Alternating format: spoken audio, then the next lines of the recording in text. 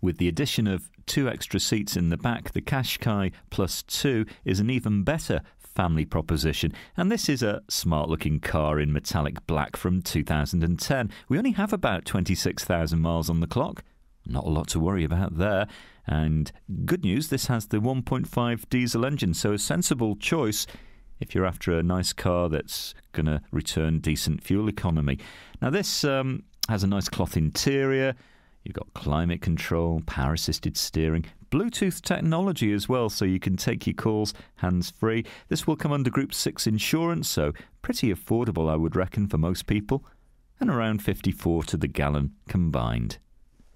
We've got around 1,400 cars on our super site. They're all online as well at the moment, so you might be a bit sport for choice. But maybe this is the car that we can tempt you with.